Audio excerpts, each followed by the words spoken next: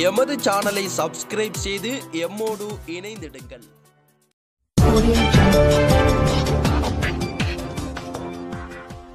Mask சொன்னதுக்காக ஆசிய நாட்டவர் மீது இன ரீதியாக தாக்குதல் நடத்திய இளம் பெண்கள் ஒரு திடுக்கிடும் வீடியோ. இலங்கை வாழ் இந்துக்களுக்கு பிரதமர் மஹிந்த வெளியிட்ட செய்தி. கேட் மிடில்டனுடனான மேகன் மெர்க்கலின் மோதலுக்கு இதுதான் காரணமா? ஆப்கானிஸ்தானில் தலிபான் பயங்கரவாதிகள் முப்பது பேர் கொன்று குவிப்பு. ராணுவத்தின் அதிரடி தாக்குதலில் வீழ்ந்தனர். திட்டமிட்டபடி சுவிட்சர்லாந்தில் மார்ச் இருபத்தி இரண்டு அன்று கட்டுப்பாடுகள் நிகழ்த்தப்படுவதில் சிக்கல். வெளிவிவகார அமைச்சின் செயலால் இலங்கைக்கு சர்வதேச ரீதியில் ஏற்பட போகும் நிலைமை. முதலில் அமெரிக்கர்களுக்குத்தான். மீதமிருந்தால் பார்க்கலாம். அதிரடி முடிவை எடுத்த ஜோ பைடன். ஒரு ஒன்று புள்ளி எழுபத்தி ஒன்பது மில்லியன் பவுண்ட். உலகில் விலை உயர்ந்த மருந்துக்கு பிரித்தானியா அங்கீகாரம். கொரோனா தடுப்பூசிகள் பெயர் பலகைகள் வைத்து பிரதமருக்கு நன்றி தெரிவித்த கனடா. ஆஸ்திரேலியா ஜப்பான் பிரதமர்களுடன் அமெரிக்க ஜனாதிபதி ஜோ பைடன் மோடி நாளை சந்திப்பு.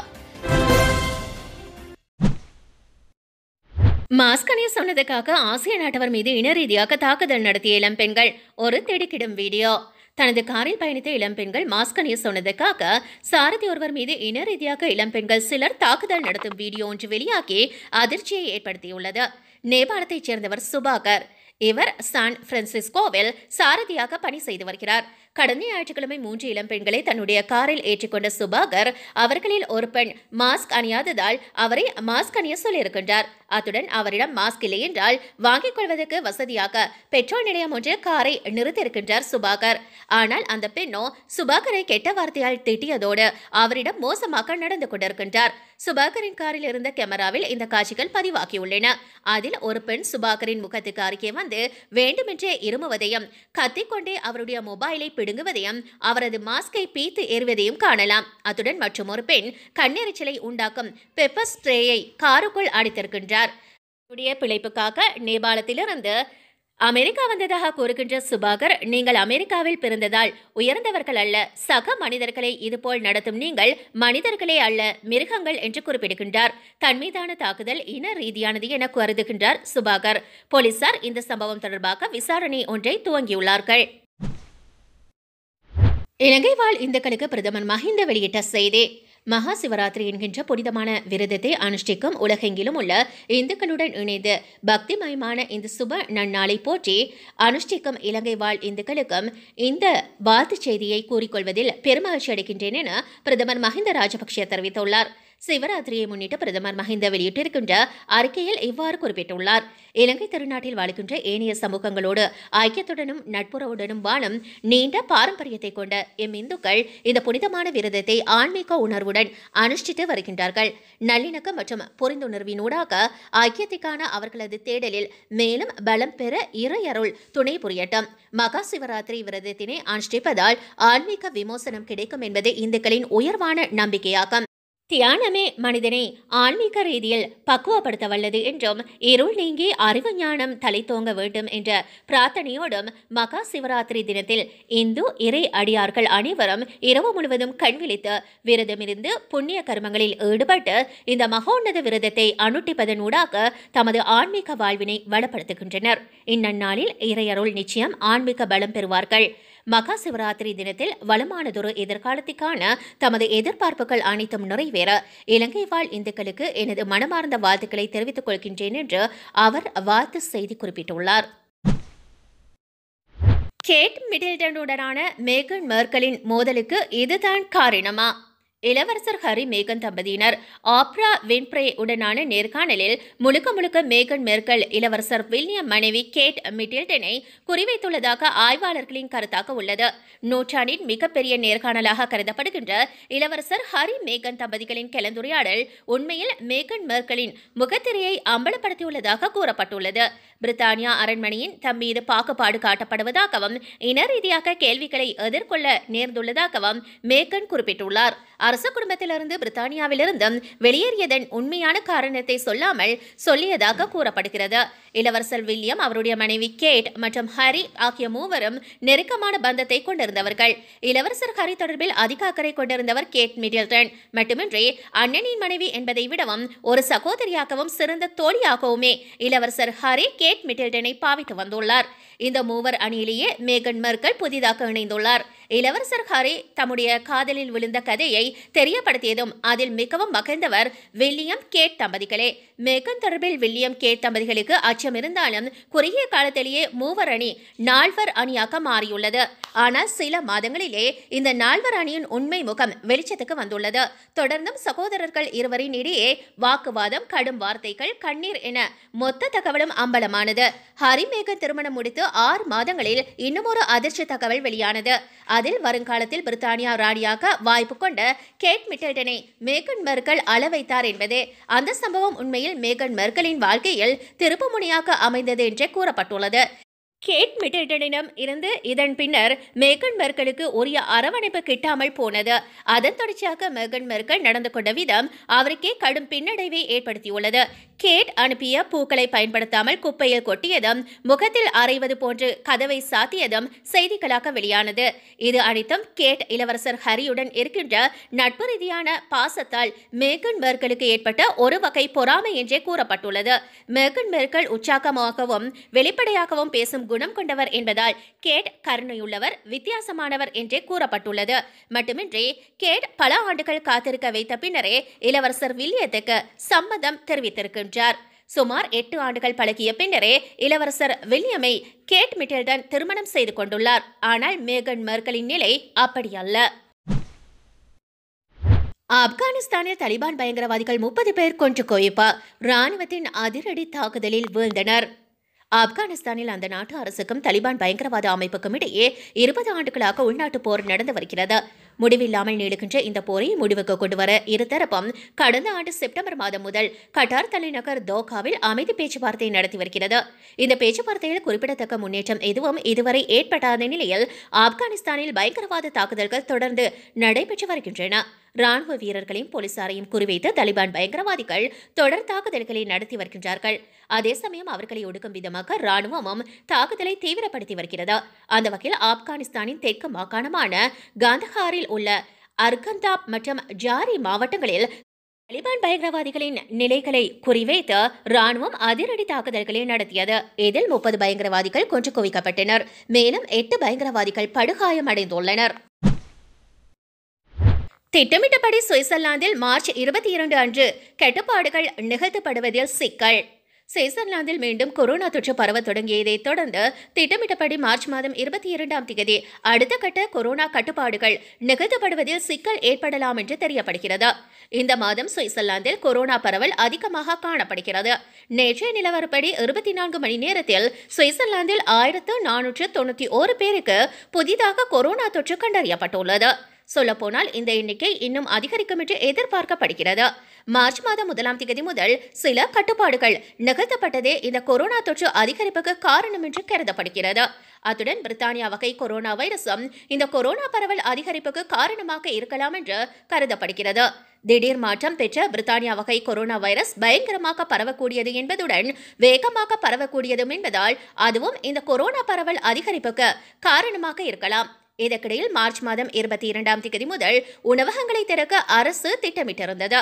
ஆனால் தொடர்ந்து கொரோனா தொற்று அதிகரித்து வருகின்ற நிலையில் மார்ச் மாதம் பத்தொன்பதாம் தேதி வரை நாட்டில் கொரோனா பரவல் நிலைமை என்ன என்பதை பொறுத்தே உணவகங்களை திறக்க முடிவு எடுக்கப்படும் என்று கூறப்பட்டுள்ளது. அன்றைய நிலவரப்படி கொரோனா தொடர்ந்தும் அதிகரித்த வண்ணம் இருப்பது தெரியவந்தால் உணவகங்கள் திறப்பு தள்ளிப்போக வாய்ப்புள்ளதாக கூறப்பட்டுள்ளது. வெளிவிவகார அமைச்சின் செயலால் இலங்கைக்கு சர்வதேச ரீதியில் ஏற்பட போகும் நிலைமை. கொழும்பில் நடைபெறவுள்ள பிஸ்மெட் மாநாட்டில் கலந்து கொள்ளுமாறு மியான்மரின் ராணுவ அரசாங்கத்தின் வெளிவிவகார அமைச்சருக்கு இலங்கை வெளிவிவகார அமைச்சர் தினேஷ் குணவர்தன அழைப்பு விடுத்துள்ளமை காரணமாக சர்வதேச மட்டத்தில் இலங்கை மிகப்பெரிய அரசியல் அவமதிப்புக்கு உள்ளாக்கும் நிலைமை ஏற்பட்டுள்ளதாக தெரிய வருகிறது இலங்கை வெளிவிவகார அமைச்சர் மியான்மர் ராணுவ அரசாங்கத்தை உத்தியோகபூர்வமாக அங்கீகரிக்கும் வகையில் செயற்பட்டுள்ளமையை கண்டித்து புரோட்டெஸ்ட் ஸ்ரீலங்கா என்ற ஹேஷ்டேக் ட்விட்டர் மற்றும் முகநூல் ஆகிய சமூக வலைதளங்களில் உருவாக்கப்பட்டுள்ளது. குறிப்பாக ஜெனிவா மனித உரிமை பேரவையின் மாநாடு நடந்து வருகின்ற தருணத்தில் மியான்மர் ராணுவ அரசாங்கம் அந்த நாட்டின் எதிர்ப்பில் ஈடுபட்டு வருகின்ற போராட்டக்காரர்களை கொலை செய்து வருகிறது. இந்நிலையில் முழு உலகமே மியான்மர் ராணுவ ஆட்சியாளர்களுக்கு எதிராக குரல் கொடுத்து வருகின்ற சந்தர்ப்பத்தில் இலங்கை வெளிவிவகார அமைச்சர் செய்துள்ள செயல் காரணமாக சர்வதேச சட்டத்தில் இலங்கை தொடர்பில் அளிக்க முடியாத கருப்புள்ளி ஏற்பட்டுள்ளதாக சுட்டிக்காட்டப்பட்டுள்ளது. பிம்ஸ்டெக் மாநாட்டில் கலந்து கொள்ளுமாறு இலங்கை வெளிவிவகார அமைச்சர் மியான்மர் ராணுவ அரசாங்கத்தின் வெளிவிவகார அமைச்சருக்கு விடுத்துள்ள அழைப்பு தொடர்பில் மியான்மரைச் சேர்ந்த பலர் தமது டுவிட்டர் பக்கத்தில் எதிர்ப்புகளை பதிவு செய்து வருகின்றனர். முதலில் அமெரிக்கர்களுக்குத்தான். மீதமிருந்தால் பார்க்கலாம். அதிரடி முடிவை எடுத்த ஜோ பைடன். அமெரிக்க அரசாங்கம் முதலில் அமெரிக்கர்களுக்குத்தான் கோவிட் நைன்டீன் தடுப்பூசிகளை கொடுக்கும். அதன் பிறகு இருக்கின்ற உபரியை உலக நாடுகளுக்கு வழங்க முயற்சிக்கும் என்று ஜோ பைடன் அறிவித்துள்ளார். அமெரிக்கா கூடுதலாக நூறு மில்லியன் தடுப்பூசி டோஸ்களை ஜான்சன் அண்ட் ஜான்சன் நிறுவனத்திடமிருந்து வாங்க ஒப்பந்தம் செய்துள்ளது. இந்நிலையில் செய்தியாளர்களிடம் பேசிய ஜனாதிபதி ஜோ பைடன் நாங்கள் முதலில் அமெரிக்கர்களை கவனித்துக் கொள்வதை உறுதி செய்ய போகின்றோம். அதன் பிறகு உபரி இருந்தால் அதை உலகின் பிற பகுதிகளுடன் பகிர்ந்து கொள்ளப் போகின்றோம் என்று திட்டவட்டமாக குறிப்பிட்டுள்ளார். வளரும் நாடுகளில் தடுப்பூசிகளை விநியோகிப்பதற்கான உலக சுகாதார அமைப்பின் கோவெக்ஸ் திட்டத்துக்கு நான்கு பில்லியன் டாலர்களை வழங்க அமெரிக்கா ஏற்கனவே உறுதியளித்தது குறிப்பிடத்தக்கது. மேலும் பேசிய அமெரிக்காவின் ஜனாதிபதி ஜோ பைடன் உலகம் பாதுகாப்பாக இருக்கும் வரை அமெரிக்காவும் இறுதியில் பாதுகாப்பாக இருக்கப் போவதில்லை. அதனால் மற்ற நாடுகளுக்கு தடுப்பூசிகளை வழங்கி உதவி செய்ய முயற்சித்தது வருவதாக அவர் மேலும் குறிப்பிட்டுள்ளார். ஒரு டோஸ் ஒன்று புள்ளி எழுபத்தி ஒன்பது மில்லியன் பவுண்ட் உலகில் விலை உயர்ந்த மருந்துக்கு பிரித்தானியா அங்கீகாரம். பிரித்தானியாவின் சுகாதார அமைப்பான என்ஹெச்எஸ் இப்போது உலகின் மிக விலை உயர்ந்த ஒரு மருந்துக்கு ஒப்புதல் அளித்துள்ளது. முதுகெலும்பு தசை குறைபாடு என்கின்ற ஒரு அரிய மரபணு கோளாறால் பாதிக்கப்பட்ட புதிதாக பிறந்த குழந்தைகளுக்கும் சிறுவர்களுக்கும் சிகிச்சை அளிப்பதற்காக இந்த பிரத்யேக மருந்துக்கு என்ஹெச்எஸ் ஒப்புதல் அளித்துள்ளது. இந்த மருந்து சிகிச்சைக்கு ஒரு டோஸுக்கு ஒன்று புள்ளி எழுபத்தி ஒன்பது மில்லியன் டாலர் செலவாகிறது. இங்கிலாந்தின் என்ஹெச்எஸ் அறிக்கையின்படி எஸ்எம்ஏ பக்கவாதம் தசை பலவீனம் மற்றும் முற்போக்கான இயக்க இழப்பை ஏற்படுத்துகிறது. கடுமையான டைப் ஒன் எஸ்எம்ஏ உடன் பிறந்த குழந்தைகளின் ஆட்காலம் வெறும் இரண்டு ஆண்டுகள் மட்டுமே. என்ஹெச்எஸ் இங்கிலாந்து தலைமை நிர்வாகி சர் சைமன் கூறுகையில் இந்த ஒப்பந்தம் இந்த கொடூரமான நோயால் பாதிக்கப்பட்ட குழந்தைகளுக்கும் அவர்களது குடும்பத்தினருக்கும் வாழ்க்கையை மாற்றியமைக்கக்கூடிய ஒன்றாக அமையும் என்று அவர் குறிப்பிட்டுள்ளார். அவர் மேலும் கூறுகையில் என்ஹெச்எஸ் இன்னும் கோவிட் நைன்டீனுக்கு மத்தியில் உண்மையான அழுத்தத்தில் உள்ளது. அதுக்காக தடுப்பூசி திட்டத்தை வழிநடத்துவதில் கவனம் செலுத்தப்படுகிறது என்றாலும் இன்றைய ஒப்பந்தம் என்ஹெச்எஸ் மில்லியன் கணக்கான பிற நோயாளிகளையும் கவனித்து வருகிறது என்பதற்கான முக்கியமான நினைவூட்டலாகும் என்று அவர் குறிப்பிட்டுள்ளார். கொரோனா தடுப்பூசிகள் பெயர் பலகைகள் வைத்து பிரதமருக்கு நன்றி தெரிவித்த கனடா. கொரோனா தடுப்பூசிகள் வழங்கியதற்காக இந்தியா மற்றும் பிரதமர் மோடிக்கு நன்றி தெரிவித்த கனடாவில் பெயர் பலகைகள் வைக்கப்பட்டுள்ளன. கொரோனா பாதிப்புகளை கட்டுப்படுத்த இந்தியாவில் கோவேக்சின் மற்றும் கோவிஷீல்டு என்ற பெயரில் தடுப்பு மருந்துகள் கண்டறியப்பட்டுள்ளன. அவசர கால தேவைக்காக தடுப்பூசிகளை போட மத்திய அரசும் அனுமதி வழங்கியுள்ளது. இதன்படி கொரோனா தடுப்பூசி போடும் பணிகள் கடந்த ஜனவரி மாதம் பதினாறாம் தேதி தொடங்கி நடந்து கொண்டு வருகின்றன. உள்நாட்டு தேவை போக்க கொரோனா தடுப்பூசிகள் அண்டை நாடுகளான இலங்கை நேபாளம் ஆப்கானிஸ்தான் பூட்டான் மாலைத்தீவுகள் உள்ளிட்ட நாடுகளுக்கு வழங்கப்பட்டு வருகின்றன. இதேபோன்று பாகிஸ்தான் நாட்டுக்கும் இலவசமாக கொரோனா தடுப்பூசிகள் வழங்க நடவடிக்கை எடுக்கப்பட்டு வருகிறது இது தவிர ஜமைக்கா உள்ளிட்ட தொலைதூரத்தில் அமைந்த ஆப்பிரிக்கா நாடுகளுக்கும் கொரோனா தடுப்பூசிகள் தேவையாயின் அடிப்படையில் வழங்கப்பட்டு வருகின்றன. இதேபோன்று கனடாவுக்கும் கொரோனா தடுப்பூசிகள் வழங்கப்படுகின்றன. இதற்காக கனடா சார்பில் நன்றி தெரிவிக்கப்பட்டுள்ளது. அந்த நாட்டில் உள்ள இந்து அமைப்புகள் சார்பில் பிரதமர் நரேந்திர மோடி மற்றும் இந்தியாவுக்கு நன்றி தெரிவித்து கிரேட்டர் டொரண்டோ பகுதியில் உள்ள சாலையில் பெயர் பலகைகள் வைக்கப்பட்டு உள்ளன கனடா இந்தியா நட்புறவு நீடிக்க வேண்டும் என்று அதில் தெரிவிக்கப்பட்டுள்ளது. ஆஸ்திரேலியா ஜப்பான் பிரதமர்களுடன் அமெரிக்க ஜனாதிபதி ஜோ பைடன் மோடி நாளை சந்திப்பு. அமெரிக்க ஜனாதிபதி ஜோ பைடன் பிரதமர் மோடி மற்றும் ஆஸ்திரேலியா ஜப்பான் பிரதமர்கள் பங்கேற்கும் உச்சி மாநாடு நாளை நடக்கிறது. கொரோனா பொருளாதார பிரச்சினைகள் குறித்து அவர்கள் விவாதிக்க இருக்கின்றார்கள். அமெரிக்கா இந்தியா ஆஸ்திரேலியா ஜப்பான் ஆகிய நான்கு நாடுகள் இணைந்து கடந்த இரண்டாயிரத்தி நான்காம் ஆண்டு குவாட் கூட்டணி என்ற அமைப்பை உருவாக்கின. இரண்டாயிரத்து ஏழாம் ஆண்டு முதல் இந்த அமைப்பு செயல்பட தொடங்கியது. வெளியுறவு மந்திரிகள் மட்டத்திலேயே இதுவரை பேச்சுவார்த்தை நடந்து வந்தது. இந்நிலையில் முதல் முறையாக தலைவர்கள் மட்டத்தில் பேச்சுவார்த்தைக்கு ஏற்பாடு செய்யப்பட்டுள்ளது. அதன்படி குவாட் கூட்டணி உச்சி மாநாடு நாளை வெள்ளிக்கிழமை நடக்கிறது. காணொலி காட்சி மூலம் இந்த மாநாடு நடக்கிறது. இதில் அமெரிக்கா ஜனாதிபதி ஜோ பைடன் இந்திய பிரதமர் மோடி ஆஸ்திரேலிய பிரதமர் ஸ்காட் மாரிசன் ஜப்பான் பிரதமர் யோஷிகிட்டோ சுகா ஆகியோர் காணொலி மூலம் கலந்து கொள்கின்றார்கள். இது குறித்து வெள்ளை மாளிகை பத்திரிகை தொடர்பு செயலாளர் ஜென் பெசாக்கி கூறியதாவது இந்தியா ஆஸ்திரேலியா ஜப்பான் ஆகிய அமெரிக்காவின் முக்கியமான கூட்டாளிகளாகும். இந்தோ பசிபிக் பிராந்தியத்தில் எங்கள் கூட்டாளிகளுடன் நெருங்கிய ஒத்துழைப்புக்கு ஜோ பைடன் எவ்வளவு முக்கியத்துவம் கொடுக்கிறார் என்பதை இது காட்டுகிறது. இந்த கூட்டத்தில் பலதரப்பட்ட பிரச்சினைகள் குறித்து விவாதிக்கப்பட உள்ளது. உலக சமுதாயம் சந்திக்கின்ற கொரோனா அச்சுறுத்தல் பொருளாதார பிரச்சினை பருவநிலை மாற்றம் உள்ளிட்ட பிரச்சினைகள் குறித்து ஆலோசனை நடத்தப்படுகிறது இவ்வாறு அவர் குறிப்பிட்டுள்ளார். அதேபோல டெல்லியில் மத்திய வெளியுறவுத்துறை அமைச்சகம் தனியாக ஒரு அறிக்கை வெளியிட்டுள்ளது. அதில் நான்கு தலைவர்களும் பரஸ்பர நலன் சார்ந்த பிராந்திய உலக பிரச்சினைகள் குறித்து விவாதித்து கருத்து பரிமாற்றத்தில் ஈடுபடுவார்கள் என்று கூறப்பட்டுள்ளது. கொரோனாவை ஒடுக்குவதற்கான முயற்சிகள் பாதுகாப்பான மலிவான கொரோனா தடுப்பூசிகளை கிடைக்க செய்வது பருவநிலை மாற்றம் கடல்சார் பாதுகாப்பு ஆகிய பிரச்சினைகள் குறித்து விவாதிப்பார்கள் என்று கூறப்பட்டுள்ளது. இந்தோ பசிபிக் பிராந்தியத்தில் சீனா தனது ராணுவ வலிமையை அதிகரித்து வருகிறது. தெற்கு சீனா கடல் முழுவதையும் சொந்தம் கொண்டாடுகிறது. இந்த பின்னணியில் இந்தியா உள்ளிட்ட நான்கு நாடுகளும் நாளை ஆலோசனை நடத்துகின்றன.